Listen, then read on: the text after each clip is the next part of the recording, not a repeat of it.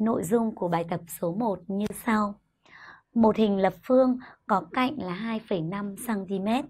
Tính diện tích một mặt, diện tích toàn phần và thể tích của hình lập phương đó.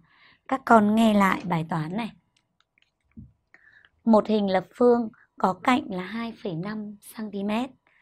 Tính diện tích một mặt, diện tích toàn phần và thể tích của hình lập phương đó. Các con có dễ dàng tính diện tích một mặt của hình lập phương này không? Khi biết cạnh của nó là 2,5 cm rồi. Và các con có dễ dàng tính diện tích toàn phần và thể tích của hình lập phương không? Cô nhắc lại các con, muốn tính diện tích toàn phần của hình lập phương thì chúng mình sẽ thực hiện lấy diện tích của một mặt nhân với 6. Chúng mình sẽ ra diện tích toàn phần của hình lập phương.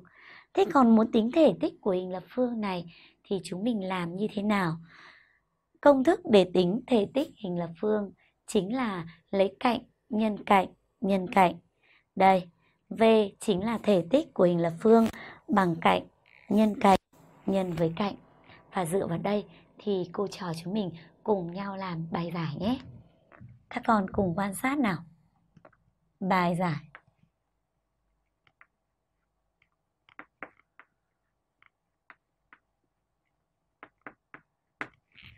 Bây giờ, chúng mình sẽ đi tìm yêu cầu đầu tiên, đó là diện tích một mặt.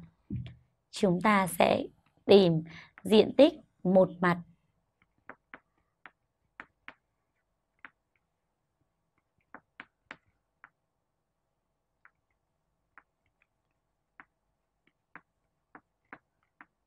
của hình lập phương là